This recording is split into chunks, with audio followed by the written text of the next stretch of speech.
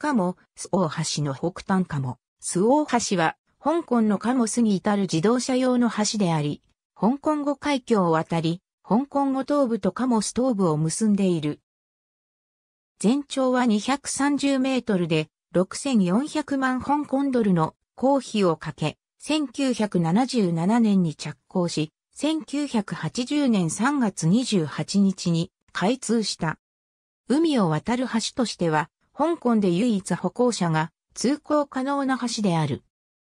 橋の開通当時は片側一車線となっていたが、カモスの著しい開発が行われ、交通量が急増したため、1991年から1993年にかけて、香港政府は元の橋の北側にもう一本同じ橋を建設する工事を行い、道路は片側に車線となった。橋には島に水を供給する水道管が通っている。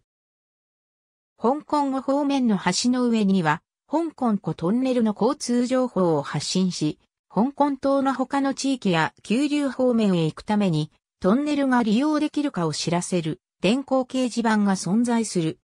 かも、スオー橋が建設されてから、橋はカモスと外部を結ぶ唯一の道路となっており、橋で交通事故が発生した場合は、道路交通が寸断されてしまっていた。